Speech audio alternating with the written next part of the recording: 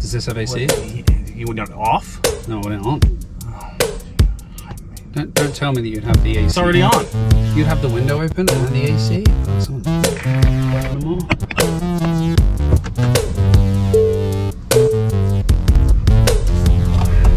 Okay. Today we're in the car. Welcome back, everyone, to this week's Sharp Stories. Welcome to the car. Yeah, the videographer has bailed on us. He flaked. COVID virus, apparently. Absolute excuse. Yeah, ironically, he was at a wedding at the weekend. You need to lean in here, okay? We don't have someone following us. That's a little different. Okay, welcome back, guys. Uh, we've got a conversation that we're going to be talking about, which is, I think, important for people to know, and it's what It's one of those higher level events that's taking place that's frameworking everything that you that's creating the framework that you have to deal in. And that's why we believe everyone It's know. changing the fundamentals of the real estate market. The real estate market is not the same today as it was 22 years ago in the year 2000. So, and you would pick a route that has speed bumps, want a coffee and a white shirt, wouldn't you? Only trying to stage the best case scenario. That's just all. trying to get that footage.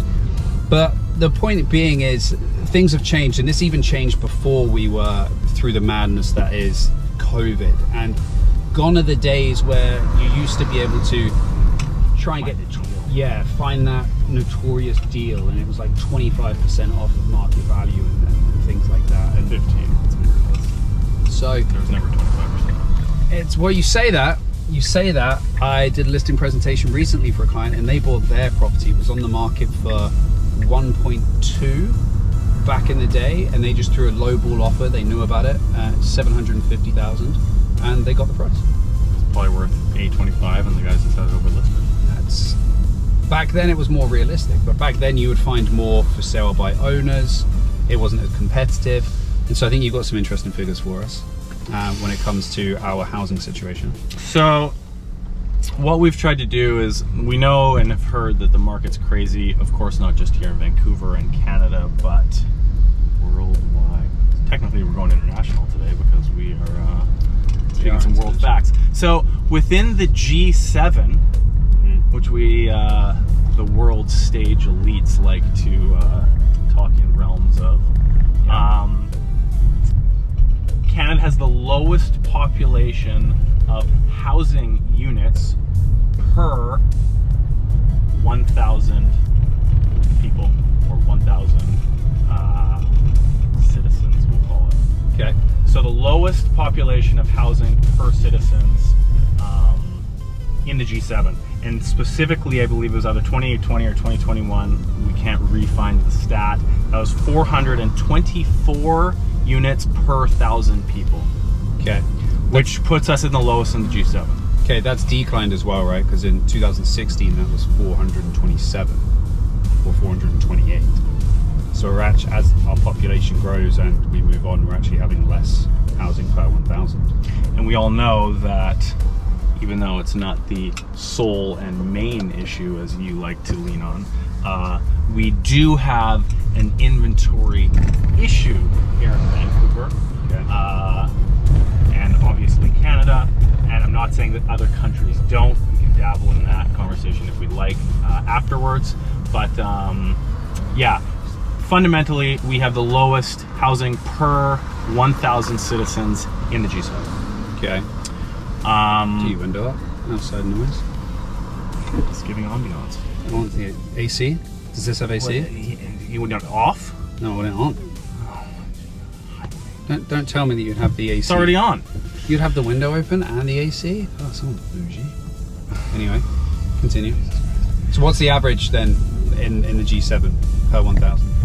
For us to get to the average, um, what do we have here? The average is 471 Per 1,000. per 1,000. Actually, do you remember what the, the, the highest in the G7 was? Which which country?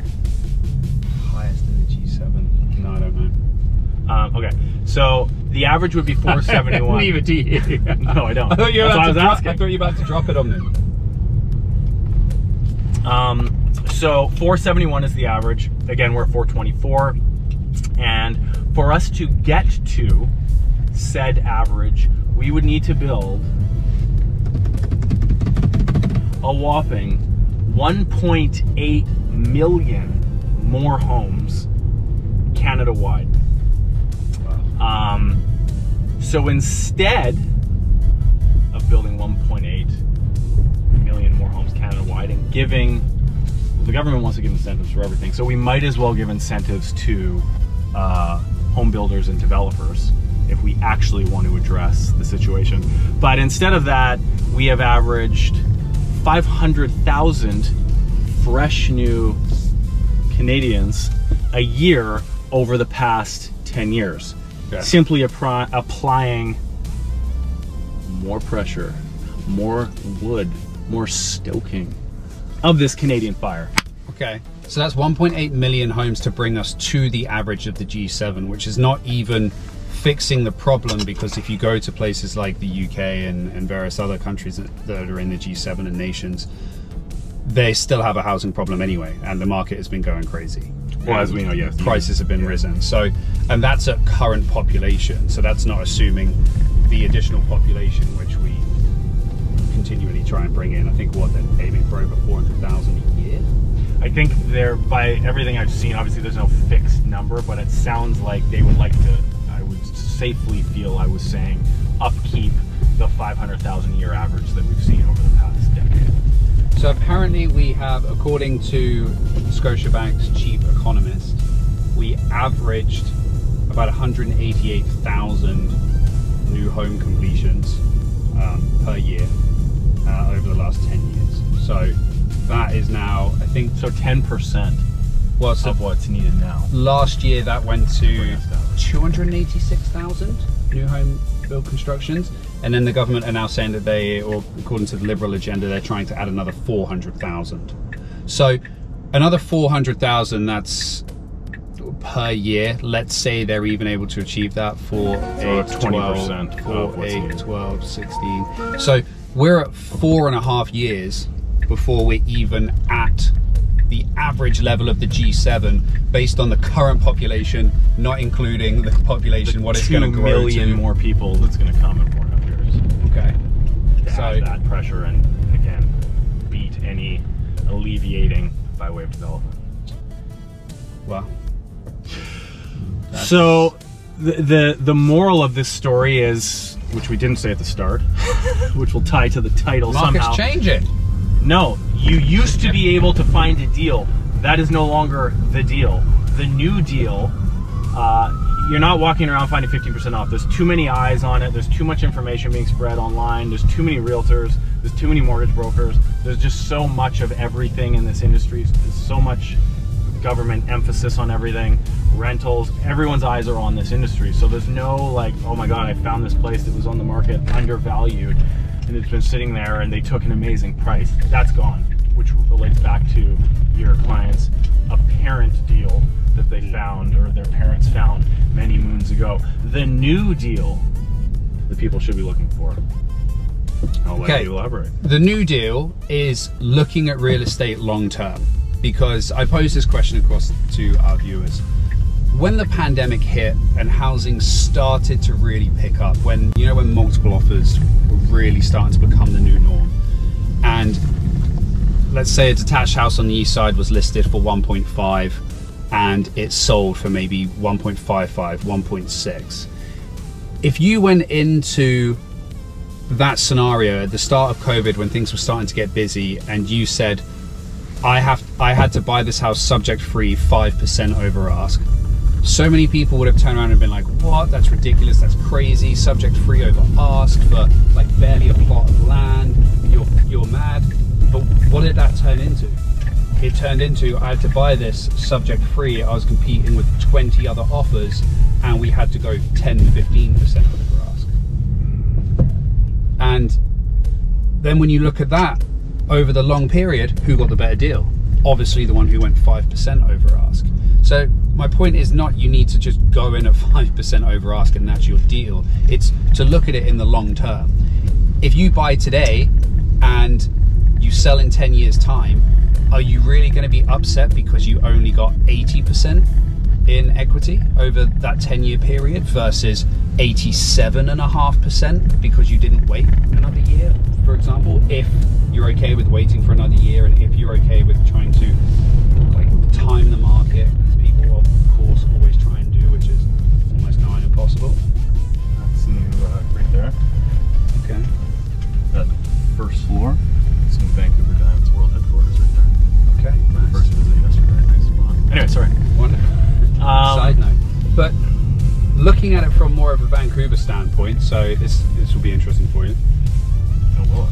Yes, it will be interesting for you, Jay. For me. So, from 2002 to 2012, how many homes do you think sold on average a year? We talked about this. 30,000, 32,000. It's 33,500, basically. And then between 2013 to now, how many homes do you think sold on average? No, it's about 33,000. So it's about the same amount of homes that are selling.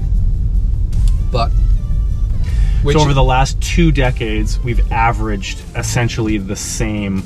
yeah, I mean, the average, but the average, it's we're not far off the average either side within under 2,000 sales yeah. per year. And I mean, we on have to take the average because obviously those periods of time include high peak Yeah, yeah. points, they include low times as well. So our population has grown substantially. But the interesting thing is, is 10 years ago, you look at what the market was doing, what were interest rates in 2008, for example? Six? 6%. And then back, I feel like this is a, a fable talking about this, like one of those old wives' tales that no one believes, but you could buy homes with zero down. Oh yeah, did that. Yeah, yeah, So- yeah, yeah. those were the days. No, you didn't. I didn't. Clients did. So the home price index from that time has gone from 621,000 to a million before COVID, after COVID, 1.2 million on average. So you've got an extremely increased supply in terms of demand because obviously our population has increased as we've discussed. You've got practically a double home price index. Yeah. So back then it was far easier because you could put zero down. The interest rates kind of negate themselves out because now you have the stress test of plus 2%, so you're having to qualify around that similar sort of time. Plus, you were only qualifying up to property pricing that was again half of what they were today. Exactly. So it was far easier to get into the market then. So you, if anything, you would assume that as things get more difficult, home prices would slow down. It would become more difficult for people to get in. And side note, right now with the prices slight, slightly depending where you are, anywhere between five and let's say late teens off of peak pricing, mm-hmm. and absolute, we'll say at least decade peak interest rates. It's arguably the hardest time to buy right now, Yeah. uh, analytically speaking. Yeah. From all that, from all those, both of those sides. So, but yet homes are still selling. We're still selling just as many. And as anyone who's been in the real estate market, whether you're an agent, a mortgage broker, a buyer or seller, you know the climate of the market. And yes, COVID made things crazy. And for the last like couple of years, it was extremely bullish in real estate. But then we've had other extremely busy times in real estate that were not just COVID related. And we've had low times as well. And it's always come down to the same thing supply. Our biggest issue is supply. I think the only reason that we're actually at th- around 33,000 homes sold is because of supply. I think if we had a lot more supply on the market, that those numbers would be higher.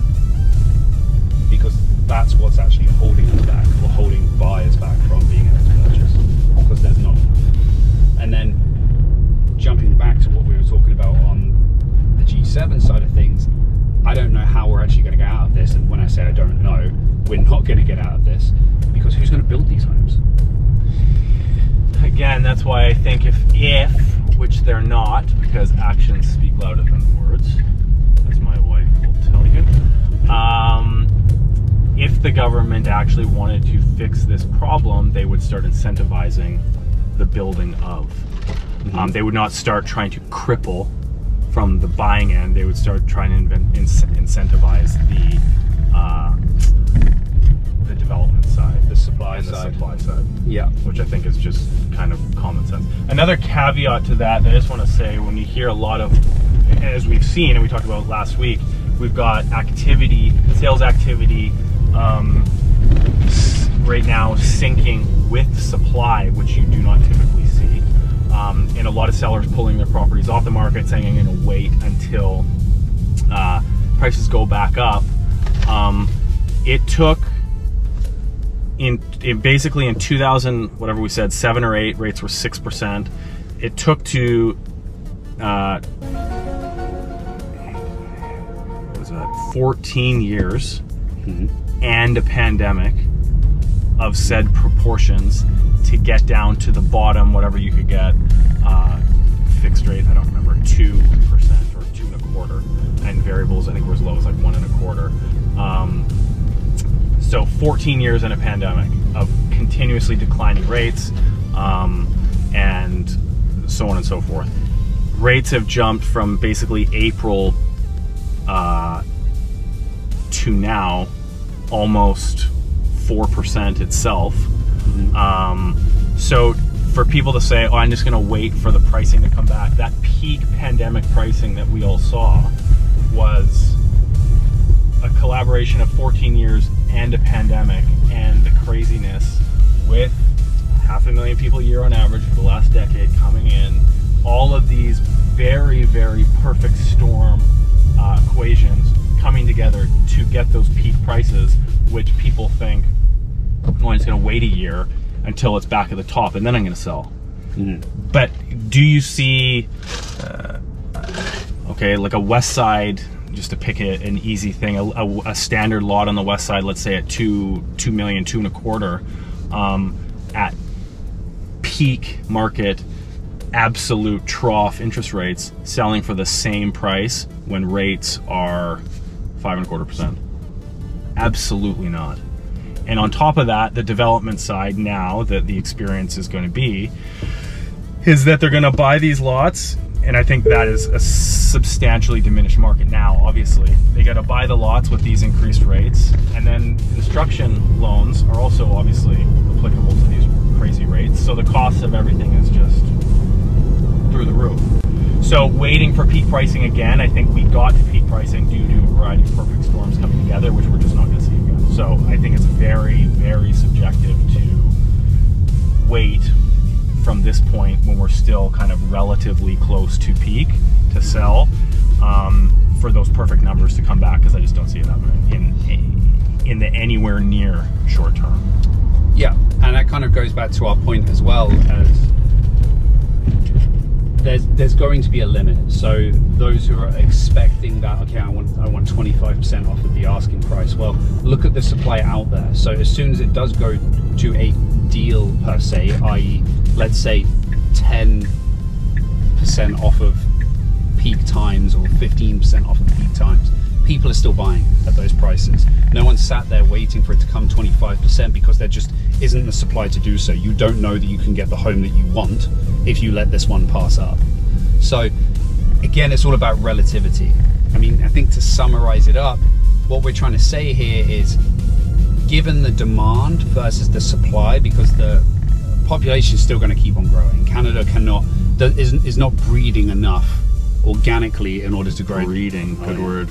To sustain our needs and there's a heavy impact in or a heavy push for immigration. So that's going to continue increasing. So it's not exactly like it's going to be easier. I can wait three or four or five years and the housing supply is going to be fixed and it's going to be a lot more comfortable and so on and so forth. That's not how it's going to work. And because of that lack of supply gone are the days where you could look for oh i'm going to get 25% off of market value. Oh, i'm looking i'm looking for some off. market value. I'm looking for someone who needs to sell, and because they need to sell, it, the market doesn't work like that anymore. I'm afraid it's become too competitive. Yeah, this is generally speaking too many eyes on the market for sure. Um, I think that's it. So I think that's it. kind of the upper level point of view on what's going on on the ground, and your two cents and comments on that would be much appreciated. And thank you for your attention, and we'll talk next time. And guys, if you like, or sorry, if you like these videos or get anything from them, click like, click subscribe. We appreciate you, and we will see you next week.